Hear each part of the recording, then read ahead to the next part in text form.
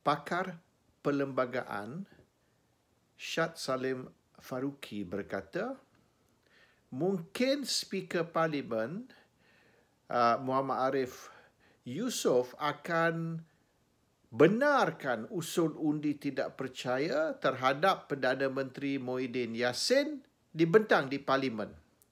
Kalau tak sempat 18 hari bulan Mei ini pun, mungkin pada bulan Julai di mana uh, sesi parlimen akan bersidang selama dua minggu.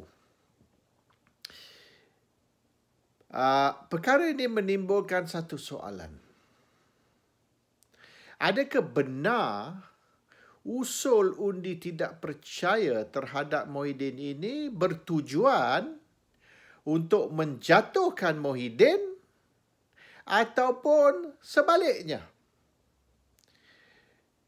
Muhyiddin mempunyai majoriti uh, di dalam uh, 114 hingga 115 ahli parlimen bersama beliau.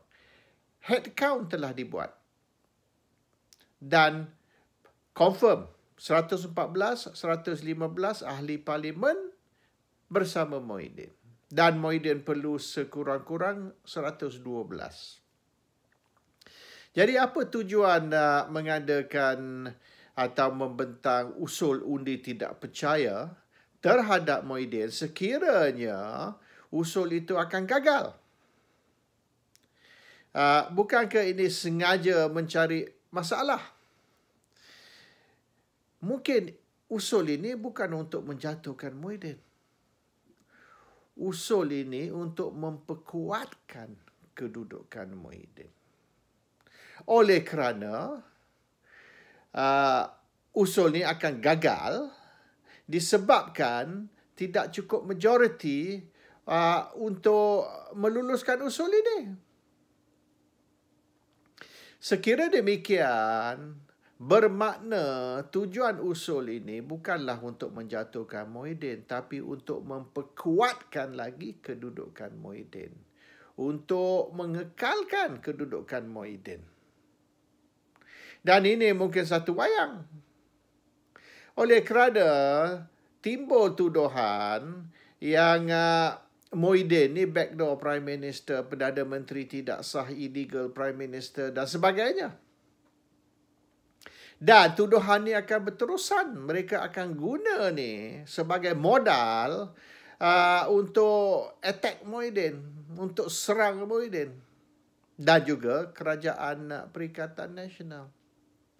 Jadi sekiranya once and for all perkara ini diselesaikan dan diselesaikan melalui undi tidak percaya dan apabila undi tidak percaya itu gagal maka tidak lagi timbul uh, tuduhan atau soalan yang uh, Muhyiddin ni tak sah ataupun backdoor prime minister.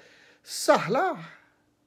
Sebab apabila undi tidak percaya dibuat dan majoriti menyokong Muhyiddin ha, menolak usul itu maka ha, hari ini Muhyiddin telah bertukar menjadi legal prime minister.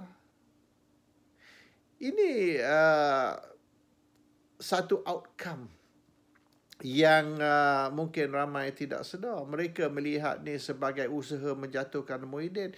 Mungkin bukan mungkin ini usaha untuk mengekalkan Muhyiddin. Dengan mengetahui usul itu akan gagal, mereka masih bentang usul itu.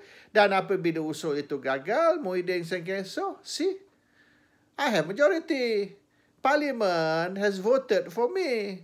So tak timbul lah lagi backdoor prime minister, illegal prime minister. I'm now legal. Front door. Uh, okay, itu mungkin outcome yang akan berlaku. Dan uh, nampak uh, nampak gaya dari uh, berbagai-bagai uh, usaha yang sedang berjalan this seems to be the scenario. Tapi siapa yang akan untung?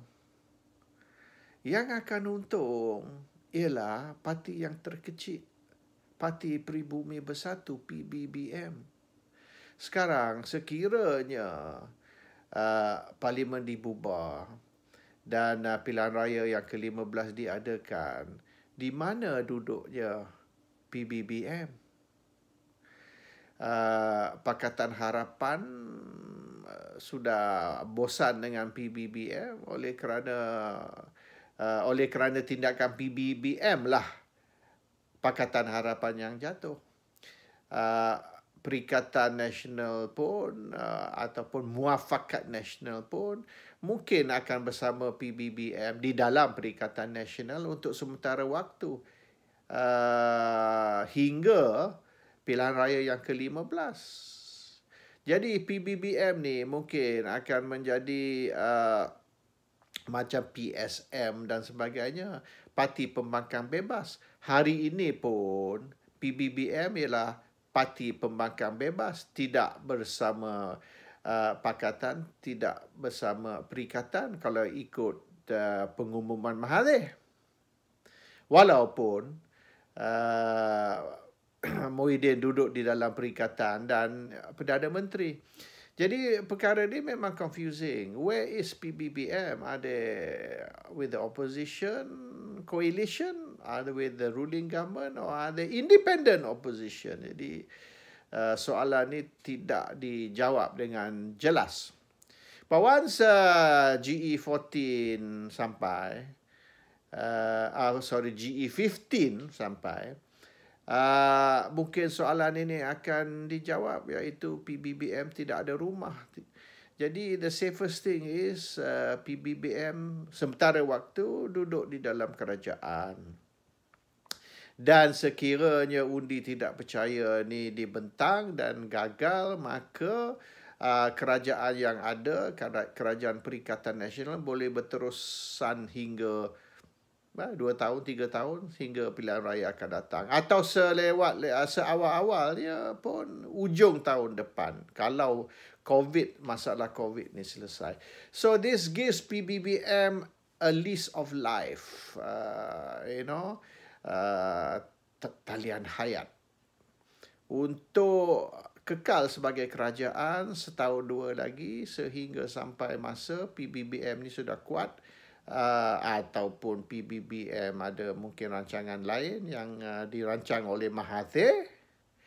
Dan uh, sementara waktu mereka kena memberi gambaran yang PBBM ni lemah supaya tidak ada usaha untuk nak matikan PBM tapi uh, dengan usul ni yang nampak PB, PBBM sendiri yang nak menjatuhkan uh, Muhyiddin tapi sebaliknya oleh kerana usaha, usaha nak menjatuhkan Muhyiddin akan bertukar menjadi uh, usaha untuk nak memperkuatkan Muhyiddin.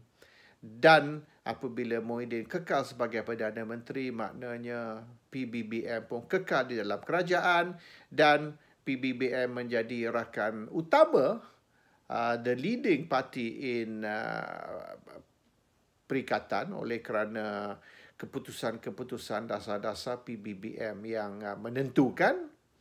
Dan uh, AMNO dan uh, PAS akan duduk diam dan tidak ada usaha nak menjatuhkan Muhyiddin atau PBBM sehingga satu masa PBBM is ready uh, to become uh, the big brother in uh, perikatan. So, tak tahulah.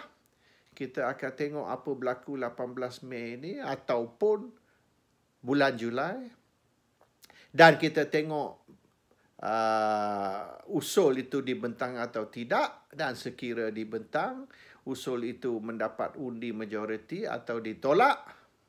Dan kita akan tahu the next phase of uh, PBBM's development dan mungkin uh, chapter 2, chapter 3 dan seterusnya telah ditulis oleh Mahathir dan Mahathir tahu exactly what he is planning for his party. Assalamualaikum warahmatullahi wabarakatuh.